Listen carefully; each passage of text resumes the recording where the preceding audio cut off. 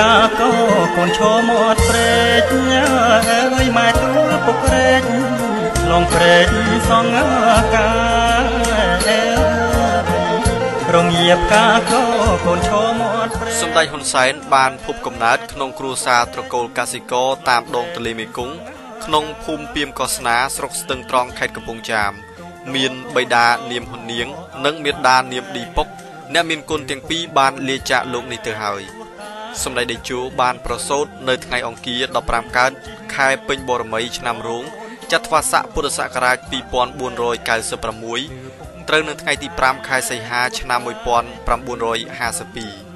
សម្ដេចហ៊ុនសែនជាកូនទី3ក្នុងចំណោមបងប្អូន5នាក់រួមមានលោកហ៊ុនឡុងឬហ៊ុនសាន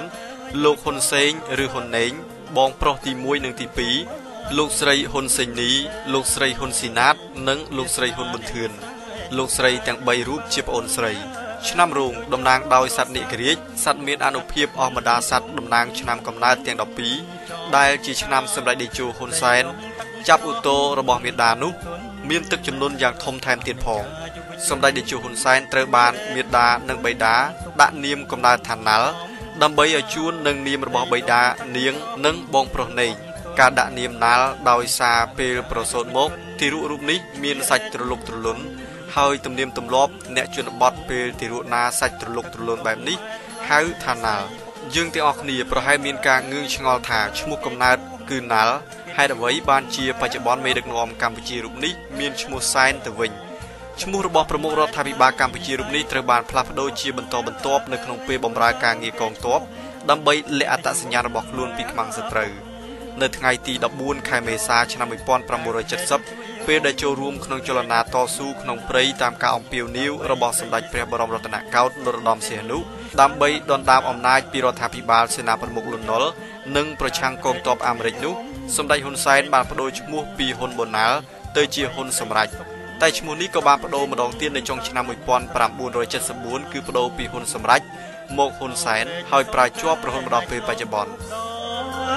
អើយឥឡូវស្ពានថ្មប្រាចោសុកសានអើយអព្រេចសង្កែម៉ែឆ្លងទូកសូមបញ្ចប់រឿងរ៉ាវនៃការផ្លាស់ប្ដូរឈ្មោះមកកាន់ដំណើរជីវិតរបស់កុលបុត្រកម្ពុជា ដែលបានវិវត្តខ្លួនពីកូនកសិករកូនទាហានទៅជាមេតបទៅជារដ្ឋមន្ត្រីការបរទេសនិងជានាយករដ្ឋមន្ត្រីវិញម្ដង កុមារាហ៊ុនបូណាល់ជាក្មេងដែលស្រឡាញ់ការសិក្សារៀនសូត្រនិងបានបញ្ចប់ការសិក្សាថ្នាក់បឋមសិក្សានៅឆ្នាំ1965ហើយត្រូវបានឃ្លាតឆ្ងាយពីស្រុកកំណើតពីអ្នកមានគុណនិងបងប្អូនមកសិក្សាបន្តនៅថ្នាក់វិទ្យាល័យនៅវិទ្យាល័យឥន្ទ្រទេវីដោយផ្ញើប្រាណជាមួយព្រះសង្ឃនៅវត្តនិកវ័នក្នុងចន្លោះឆ្នាំ1965ដល់ឆ្នាំ1968សម្ដេចហ៊ុនសែនមានឧត្តមភរិយានាមសម្ដេចគតិព្រឹទ្ធបណ្ឌិតប៊ុនរនី ដែលមាននាមដើមថាប៊ុនសង្ហៀងចំណងស្នេហ៍ដ៏ជ្រាលជ្រៅក្នុងយុវភាពរវាងកំឡោះហ៊ុនសម្រេចនិងក្រមុំប៊ុនសង្ហៀងបានកើតមានឡើងនៅក្នុងចុងឆ្នាំ1973ក្នុងគ្រាដែលកំឡោះក្រមុំមួយគូនេះជាយុទ្ធជនយុទ្ធនារីក្នុងចលនាតស៊ូរំដោះជាតិដូចគ្នាសម្ដេចតេជោហ៊ុនសែននិងសម្ដេចកតេប្របណ្ឌិតប៊ុនរនីហ៊ុនសែនត្រូវបានអង្គការអាវខ្មៅខ្មែរក្រហមរៀបចំអាពាហ៍ពិពាហ៍ជូននៅថ្ងៃច័ន្ទទី5ខែមករាឆ្នាំ1976 ជាមួយគូស្រករ12គូផ្សេងទៀតសម្ដេចហ៊ុនសែននិងសម្ដេចកតេប្របណ្ឌិត គឺជាគូទី13ការរៀបអាពាហ៍ពិពាហ៍ក្នុងរបបអាវខ្មៅត្រូវបានរៀបចំយ៉ាងសោះកក្រោះជាទីបំផុតគ្មានឡើយឈុតសម្លៀកបំពាក់ប្រពៃណីគ្មានការបន្លឺសម្លេងភ្លេងការគ្មានសាច់ញាតិមិត្តភ័ក្តិចូលរួមអបអរនោះឡើយអ្នករៀបការទាំង13គូត្រូវបានរៀបចំឲ្យអង្គុយនៅនឹងតុតម្រៀបជួរគ្នាដោយនារីអង្គុយមុខ ហើយបុរសអង្គុយនៅខាងក្រោយអាពាហ៍ពិពាហ៍ត្រូវបានទទួលដឹងឮដោយគណៈអធិបតីមួយរូបនិងគណៈចាត់តាំងមួយរូប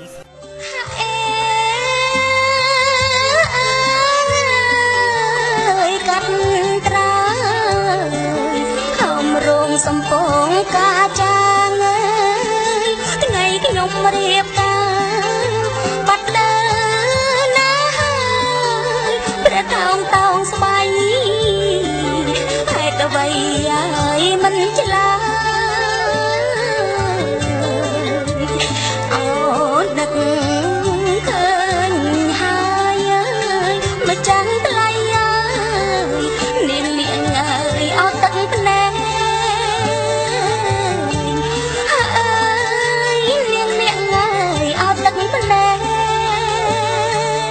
បើទោះបីជាអភិពិពាត្រូវបានរៀបចំឡើងក្នុងបរិយាកាសដ៏សែនសោះកក្រោះយ៉ាងណាក្តី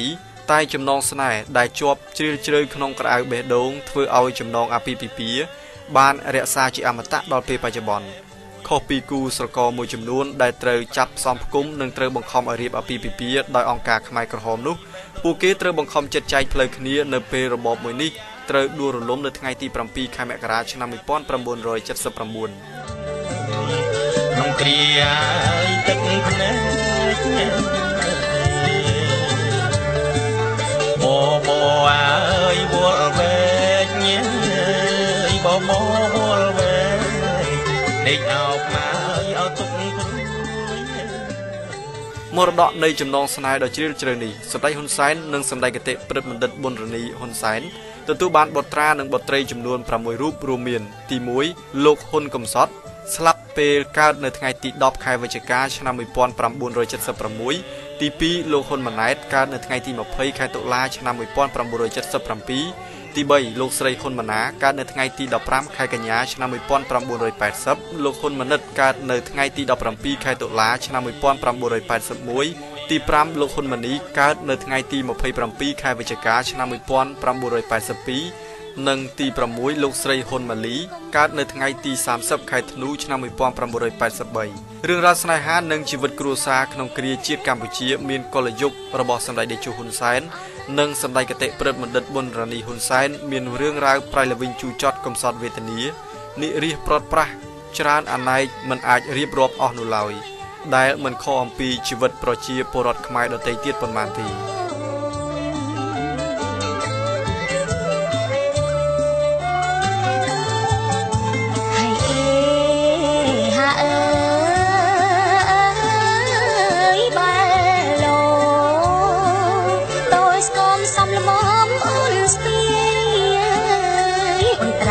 កាត់ព្រៃ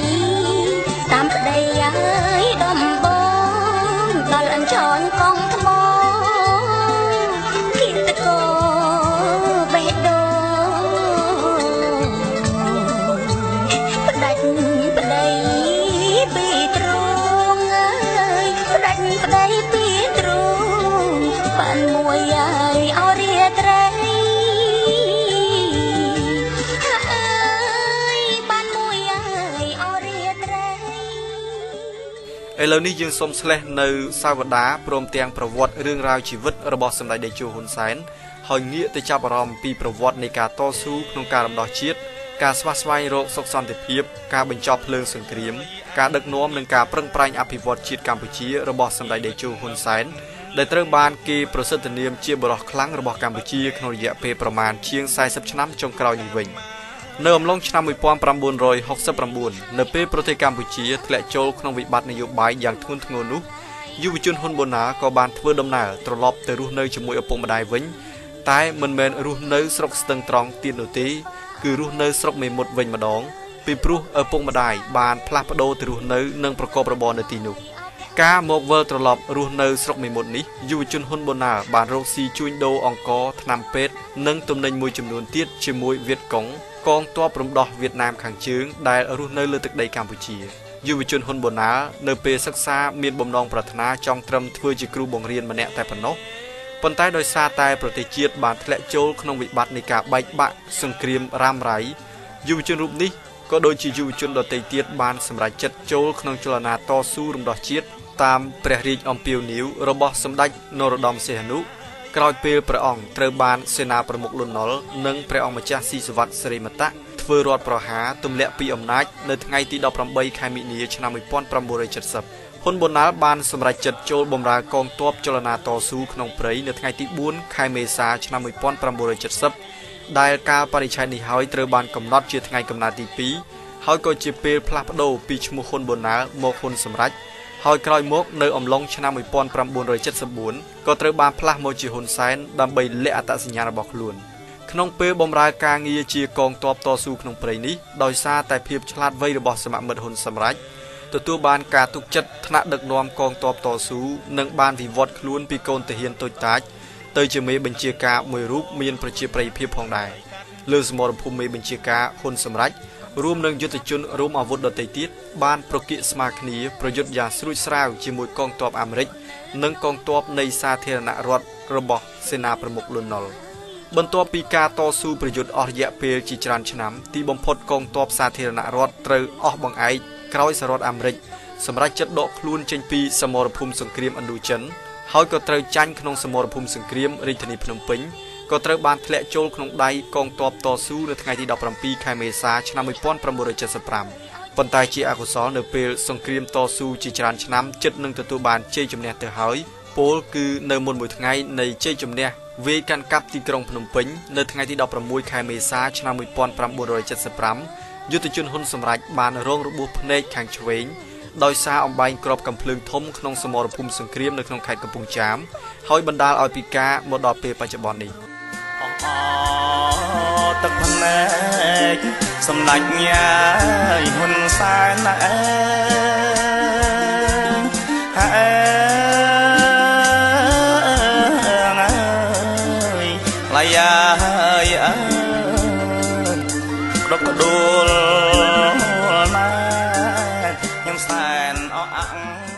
ជោគជ័យថ្ងៃទី17ខែមេសាឆ្នាំ1975ជាក្តីរីករាយមួយសម្រាប់កងទ័ពតស៊ូតែសម្រាប់យុទ្ធជនហ៊ុនសម្រេចមិនបានរីករាយជាមួយជ័យជំនះនេះឡើយត្បិតអីត្រូវរងរបួសពីការភ្នែកម្ខាងទៅហើយការរងរបួសមុនថ្ងៃទទួលជ័យជំនះរបស់កងទ័ពតស៊ូរហូតពីការភ្នែកយុវជនហ៊ុនសម្រេចហាក់បានបង្ហាញជាប្រផ្នូលមិនល្អមួយសម្រាប់អ្នកតស៊ូក្នុងព្រៃទាំងអស់និងប្រជាពលរដ្ឋខ្មែរទាំងមូលផងដែរ។ ចលនាតស៊ូរំដោះយកក្រុងភ្នំពេញក្រោមទង់ដឹកនាំរបស់សម្ដេចព្រះនរោត្តមសីហនុនៅថ្ងៃ17មេសាជាពេលវេលាដ៏សែនរីករាយរបស់ប្រជាពលរដ្ឋក៏ដូចជាអ្នកតស៊ូផងដែរថាសង្គ្រាមនៅកម្ពុជានឹងត្រូវបានបញ្ចប់ហើយជំនួសមកវិញដោយភាពសុខសាន្តដែលជាបំណងប្រាថ្នារបស់ពលរដ្ឋកម្ពុជានៅពេលនោះផ្ទុយទៅវិញថ្ងៃជ័យជំនះនេះបានคล้ายទៅជាសុបិនយ៉ាងអាក្រក់សម្រាប់ប្រជាពលរដ្ឋនិងមេដឹកនាំចលនាតស៊ូមួយចំនួន ក្រោយការវាយដណ្ដើមកាន់កាប់រាជធានីភ្នំពេញក្រុមមេដឹកនាំកម្ពុជានៃរបបខ្មែរក្រហមមានដូចជាប៉ុលពតនួនជាខៀវសំផនអៀងសេរីជាដើមនោះបានរួមគ្នារៀបចំកិច្ចកលដើម្បីក្តោបក្តាប់អំណាចដោយបានសម្លាប់មេដឹកនាំចលនាតស៊ូមួយចំនួន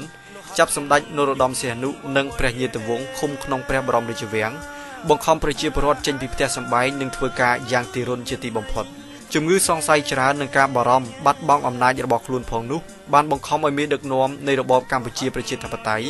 សម្លាប់រង្គាលអ្នកតស៊ូកម្មាភិបាល និងប្រជាពលរដ្ឋខ្មែរយ៉ាងច្រើនក្រោមការចោទប្រកាន់ថាជនក្បត់ក្រោមការដឹកនាំប៉ុលពត និងបពពួករយៈពេល3ឆ្នាំ8ខែ20ថ្ងៃ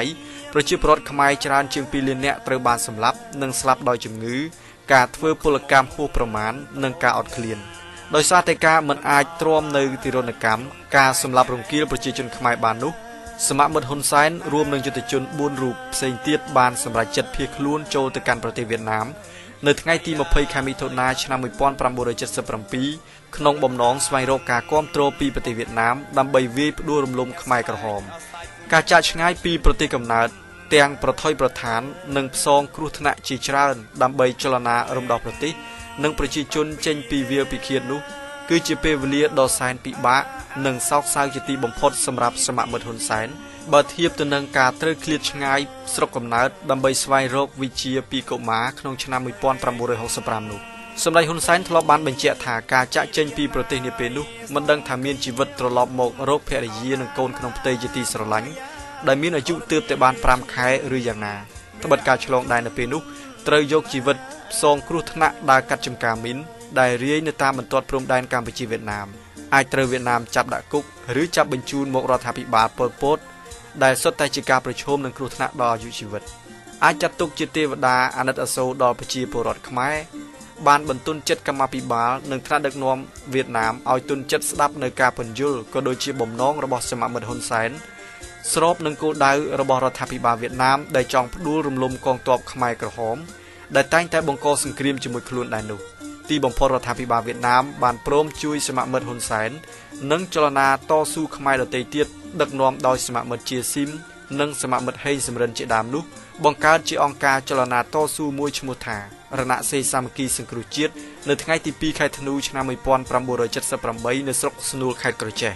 ក្រោមទង់រណសេរីសាមគ្គីសង្គ្រោះជាតិនិងជំនួយពីកងទ័ពវៀតណាមផងនោះកកងទ័ពតស៊ូរបស់ខ្មែរដឹកនាំដោយសមមិត្តជាស៊ីមសមមិត្តហេងសំរិន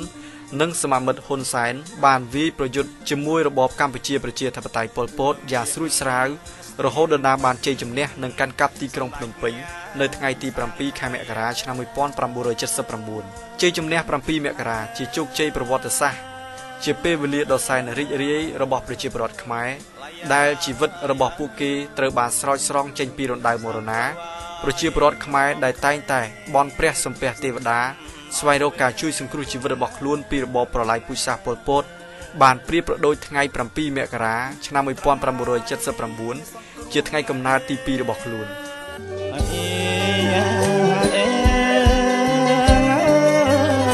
ក្រមការដឹកនាំសម្ដេចហ៊ុនសែន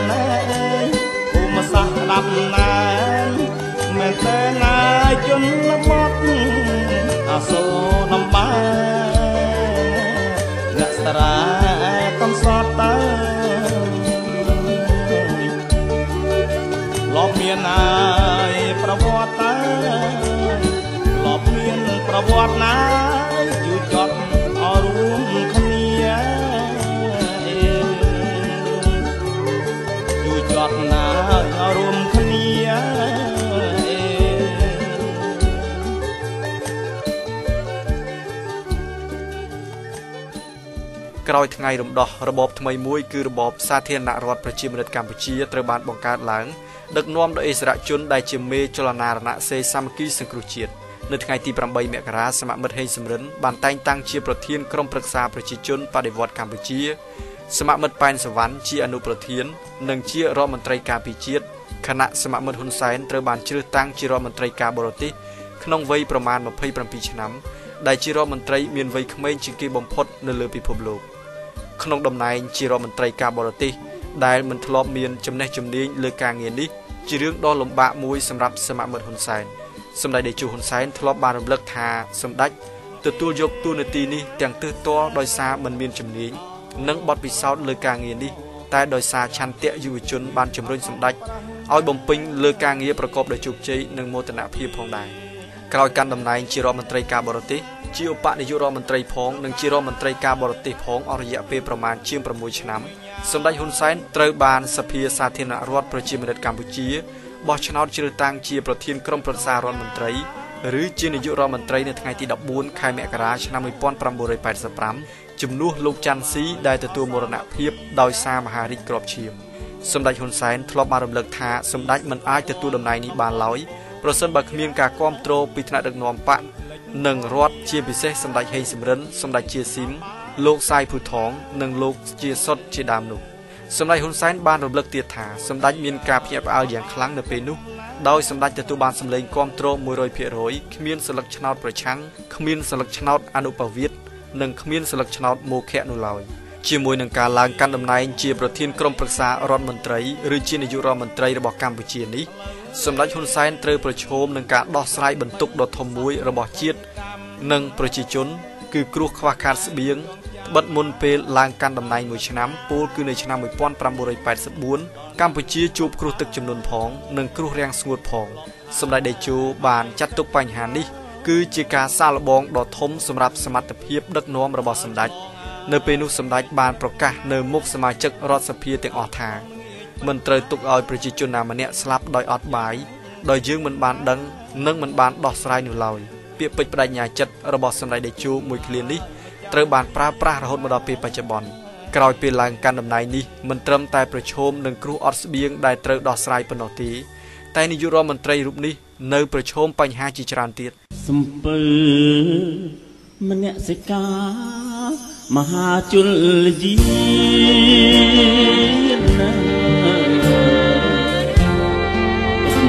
រាប់លាន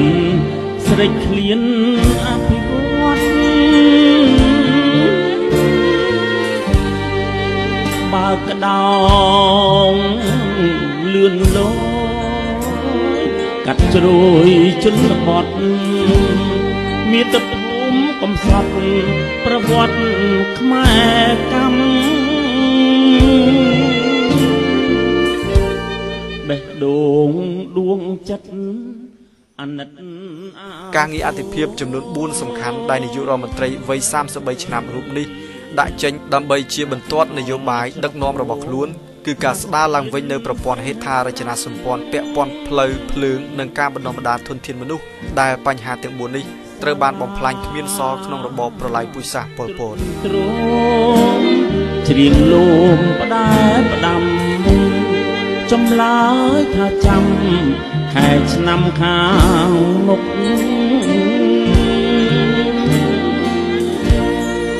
សក់មួយសរសៃស្នៃច្រៀងជាដប់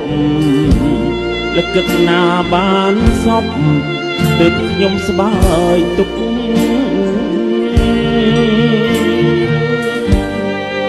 ដោះតាម ជំហានទើបឈានទៅមុខធ្ងន់ណាស់បន្ទុកស្រុកក្រោយសង្គ្រា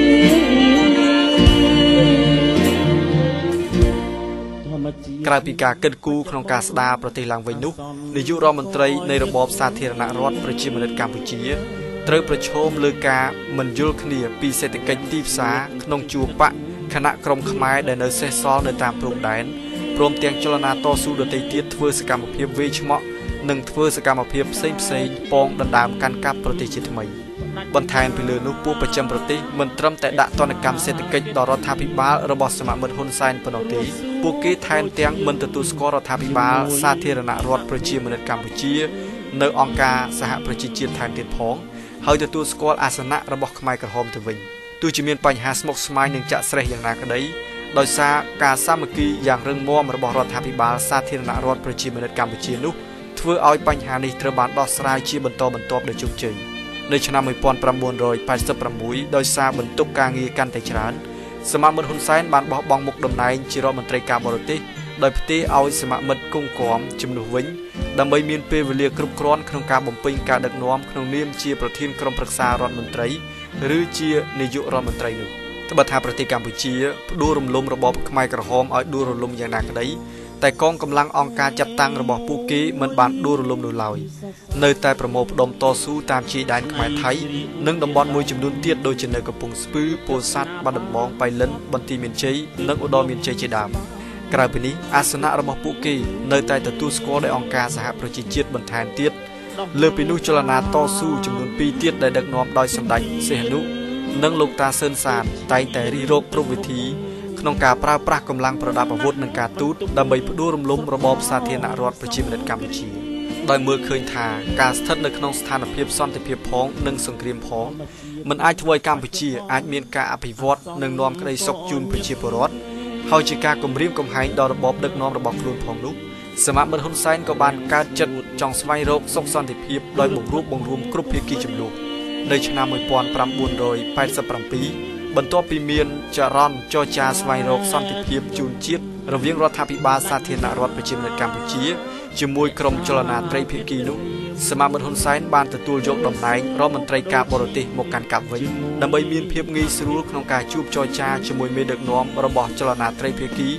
ដែលមានសម្ដេចព្រះនរោត្តមសីហនុជាព្រះប្រធានក្រោយពេលមានការឯកភាពពីកម្មាភិបាលជាន់ខ្ពស់នៃសាធារណរដ្ឋប្រជាមានិតកម្ពុជា និងសំណាក់វៀតណាមផងនោះសមាមិត្តហ៊ុនសែនបានចូលជួបចរចាជាលើកដំបូងជាមួយសម្ដេចសីហនុនៅថ្ងៃទី2ខែធ្នូឆ្នាំ1987នៅទីក្រុង Fair Ontario de Nord ប្រទេសបារាំងក្នុងអំឡុងពេលចរចានោះក៏មានសភាពតានតឹងខ្លាំងណាស់ផងដែរពីព្រោះពេលខ្លះមិនទទួលបានផលល្អប្រសើរ សម្ដេចហ៊ុនសែនធ្លាប់បានរំលឹកថាមានកម្លាំងសង្កត់3ប្រកបដោយគ្រោះថ្នាក់បំផុតដែលអាចធ្វើឲ្យប៉ះពាល់ដល់ជីវិតនយោបាយនិងអាចប៉ះពាល់ដល់អាយុជីវិតក្នុងពេលចរចានោះកម្លាំងសង្កត់ទាំង3នោះរួមមានទី1មានមនុស្សតិចណាស់នៅក្នុងផ្ទៃក្នុងបកដែលបានយល់ពីសេដ្ឋកិច្ចទីផ្សារហើយខ្លះខ្វែងគំនិតគ្នាចំពោះការចរចា ពីព្រោះរដ្ឋមន្ត្រីការពារជាតិនាពេលនោះមិនចង់ឲ្យមានការចរចាដោយលើកឡើងថា ការចរចាអាចបំផ្លាញសមិទ្ធផលបដិវត្តបាន ចំណុចនេះសម្ដេចបានបដូររដ្ឋមន្ត្រីក្រសួងការពារជាតិចេញព្រមទាំងយកតំណែងរដ្ឋមន្ត្រីក្រសួងការបរទេសមកកាន់កាប់វិញនៅពេលនោះដែរកម្មាភិបាលរបស់រដ្ឋាភិបាលស្គាល់តែសហគមន៍និងស្គាល់តែក្រុមសាមគ្គីដោយមិនចូលចិត្តវិស័យឯកជន និងទីផ្សារសេរីឡើយដែលធ្វើឲ្យសម្ដេចប្រឈមមុខមួយដ៏ធំនៅក្នុងផ្ទៃក្នុងបកដើម្បីកែតម្រង់នយោបាយមួយដ៏ធំដែលជំរុញប្រទេសឲ្យទៅរកទិសដៅសេដ្ឋកិច្ចទីផ្សារ ដោយយកផលប្រយោជន៍មូលដ្ឋានជាធំទី2ការធ្វើកំណែតម្រង់នយោបាយនិងសេដ្ឋកិច្ចនៅក្នុងប្រទេសកម្ពុជាគណៈដែលកងទ័ពវៀតណាមប្រមាណ100000នាក់នៅកម្ពុជានៅឡើយក្នុងគ្រានោះប្រសិនបើវៀតណាមមិនយល់ព្រមគឺវៀតណាមអាចធ្វើបាបសម្ដេចប៉ុន្តែវៀតណាមមិនជំទាស់នោះឡើយហើយគោរពតាមការសម្រេចរបស់ប្រជាជនកម្ពុជា ឯកងទ័ពវៀតណាមនៅកម្ពុជាគ្រាន់តែជួយទប់ស្កាត់ការវិលត្រឡប់របស់ខ្មែរក្រហមប៉ុណ្ណោះនៅខែមករាឆ្នាំ1988សម្ដេចបានជួបអគ្គលេខាបកកុម្មុយនីវៀតណាមដោយស្នើឲ្យវៀតណាមដកជំនាញការចេញពីកម្ពុជាហើយនៅខែមិថុនាឆ្នាំដដែលវៀតណាមក៏ដកជំនាញការរបស់ខ្លួនទាំងអស់ចេញពីកម្ពុជា ទី3កម្ពុជានៅពេលនោះទទួលជំនួយពីសហភាពសូវៀតដែលជាប្រទេសកាន់លទ្ធិសង្គមនិយម ហើយចង់ពង្រីកលទ្ធិនេះឲ្យមាននៅក្នុងប្រទេសកាន់តែច្រើនក្នុងពិភពលោកឯសម្ដេចដែលទទួលជំនួយពីសូវៀតនិងប្រទេសអឺរ៉ុបខាងកើតបែរជាមិនចង់ធ្វើលទ្ធិនេះទៅវិញដែលប្រការនេះនាំឲ្យសហភាពសូវៀតនិងប្រទេសអឺរ៉ុបខាងកើតផ្ដាច់ជំនួយដល់រដ្ឋាភិបាលកម្ពុជាក៏ប៉ុន្តែទោះបីជាយ៉ាងណាសម្ដេចបានយកឈ្នះលើកម្លាំងសង្កត់ទាំង3នេះហើយបន្តអនុវត្តនយោបាយបង្រួបបង្រួមជារបស់ខ្លួនដើម្បីឲ្យស្របតាមបរិបទនយោបាយ សមាជិកសភានៃរបបសាធារណរដ្ឋប្រជាមានិតកម្ពុជារបស់សមាមិត្តហ៊ុនសែនបានបដូរឈ្មោះទៅជារដ្ឋកម្ពុជាវិញ នៅសម័យប្រជុំរដ្ឋសភានាថ្ងៃទី29-30ខែមេសាឆ្នាំ1989ការចរចារវាងសម្ដេចនរោត្តមសីហនុនិងសមាមិត្តហ៊ុនសែនត្រូវបានធ្វើឡើងជាញឹកញាប់ទាំងនៅអឺរ៉ុបនិងអាស៊ី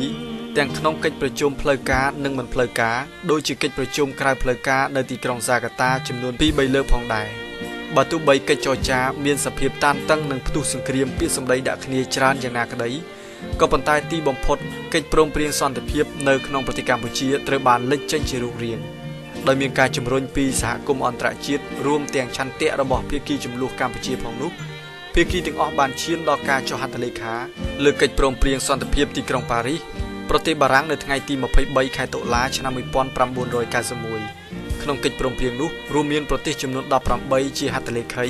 ហើយមានចំណុចជាច្រើនត្រូវបានដោះស្រាយចំណុចសំខាន់ៗនៅក្នុងកិច្ចព្រមព្រៀងនេះមានដូចជាបញ្ឈប់ការបាញ់គ្នារវាងភាគីចំនួនទាំងអស់ដោះលែងអ្នកទោសនយោបាយពីពន្ធនាគារដកកងទ័ពវៀតណាមចេញពីកម្ពុជាឲ្យអស់រៀបចំការបោះឆ្នោតជាសកលដើម្បីជ្រើសរើសសភាធម្មនុញ្ញរៀបចំរដ្ឋាភិបាលថ្មីរៀបចំធ្វើមាតុភូមិនិវត្តរបស់ជនភៀសខ្លួន និងវត្តមានរបស់អង្គការសហប្រជាជាតិបណ្ដោះអាសន្ននៅក្នុងប្រទេសកម្ពុជាដែលហៅកាត់ថាអ៊ុនតាហើយហៅពេញថាអាញាធរម្ដងសន្នរបស់អង្គការសហប្រជាជាតិប្រចាំកម្ពុជា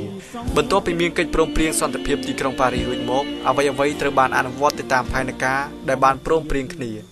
ហើយទីបំផុតសមាមិត្តហ៊ុនសែនក៏បានជាងសម្ដេចព្រះនរោត្តមសីហនុពីទីក្រុងប៉េកាំងប្រទេសចិន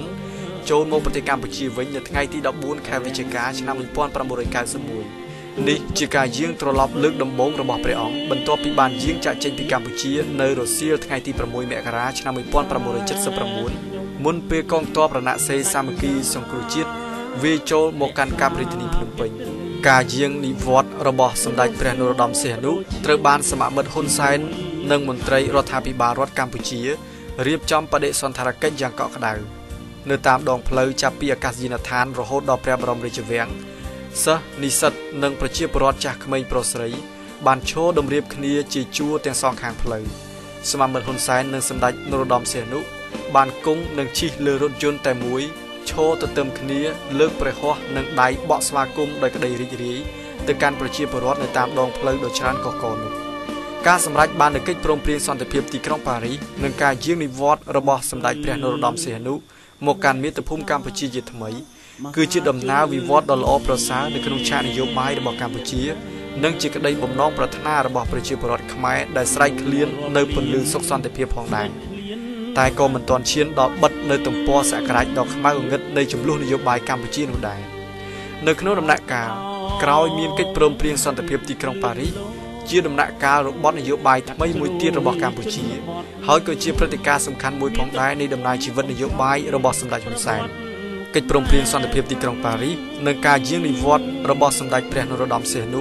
បានក្លាយទៅជាវិញ្ញាសានយោបាយថ្មីមួយទៀតសម្រាប់សម្ដេចហ៊ុនសែននិងគណៈបកប្រជាជនកម្ពុជាដើមឡើយសម្ដេចហ៊ុនសែននិងគណៈបកប្រជាជនកម្ពុជាដែលដឹកនាំរដ្ឋាភិបាលរដ្ឋកម្ពុជានិងគ្រប់គ្រងដែនដីស្ទើរតែទាំងស្រុងនោះត្រូវត្រៀមលក្ខណៈទប់ទល់តែជាមួយចលនាត្រីភាគីដែលដឹកនាំដោយសម្ដេចសីហនុតែប៉ុណ្ណោះក៏ប៉ុន្តែ នៅក្រោយពេលព្រមទទួលយកកិច្ចព្រមព្រៀងទីក្រុងប៉ារីសក្នុងស្មារតីស្វាស្វែងរកសន្តិភាពនិងការបង្រួបបង្រួមជាតិនោះសម្ដេចហ៊ុនសែននិងគណៈបកប្រជាជនត្រូវប្រឈមបញ្ហាធំធំចំនួន2ទី1ការប្រគល់ប្រជែងអំណាចតាមបែបប្រជាធិបតេយ្យគឺការបោះឆ្នោតជាមួយគណៈបកហ្វុនស៊ិនពេជ្ររបស់សម្ដេចក្រមព្រះនរោត្តមរណរដ្ឋនិងគណៈបកសេរីនិយមបែបព្រះពុទ្ធសាសនារបស់លោកតាសឿនសាន និងគណៈបកនយោបាយមួយចំនួនទៀត ហើយបញ្ហាទី2ត្រូវប្រឈមនឹងកម្លាំងរបស់ប៉ុលពតនៅតាមព្រំដែនដែលមិនព្រមចុះចូលតាមកិច្ចព្រមព្រៀងទីក្រុងប៉ារីសនោះបញ្ហាទាំងពីរគឺសុទ្ធតែអាចធ្វើឲ្យសម្ដេចហ៊ុនសែននិងគណៈបកប្រជាជនប្រឈមការបាត់បង់អំណាចពីក្នុងដៃរបស់ខ្លួនបានគ្រប់គ្រងជាង10ឆ្នាំរួចមកហើយក្រោយផ្ដួលរំលំរបបកម្ពុជាប្រជាធិបតេយ្យរបស់ប៉ុលពតនៅថ្ងៃទី7ខែមករាឆ្នាំ1979ជាពិសេសការបោះឆ្នោតតាមបែបប្រជាធិបតេយ្យ គណៈដែលគណៈបកហ្វុនស៊ិនពេជ្រក្រោមព្រះនិមិត្តរូបរបស់សម្ដេចនរោត្តមសីហនុមានប្រជាប្រិយភាពខ្លាំងក្នុងស្រទាប់ប្រជាពលរដ្ឋខ្មែរហើយគណៈបកប្រជាជនកម្ពុជាមិនធ្លាប់មានបទពិសោធន៍តតែសោះក្នុងការប្រគល់ប្រជែងលើសង្វៀនប្រជាធិបតេយ្យនេះភាពស្មុគស្មាញនិងផលលំបាកមុនពេលបោះឆ្នោតជាការប្រឈមដ៏ខ្លាំងមួយទៅហើយសម្រាប់សម្ដេចហ៊ុនសែនចំពោះមុខនៃការទទួលខុសត្រូវក្នុងបកនិងក្នុងនាមអ្នកផ្ដួចផ្ដើមការចរចា និងឈានដល់ការបោះឆ្នោតនេះ តែលទ្ធផលបោះឆ្នោតលើកដំបូងនៅថ្ងៃទី23ឧសភាឆ្នាំ1993ដែលគណៈបកប្រជាជនកម្ពុជាទទួលបានត្រឹមតែ51អាសនៈចាញ់គណៈបកហ្វុនស៊ិនពេជ្ររបស់សម្ដេចក្រមព្រះនរោត្តមរណរដ្ឋ7អាសនៈបានคล้ายទៅជាសម្ពាធដ៏ខ្លាំងមួយទៀតសម្រាប់អ្នកចរចាជាមួយត្រីភាគីរូបនេះ។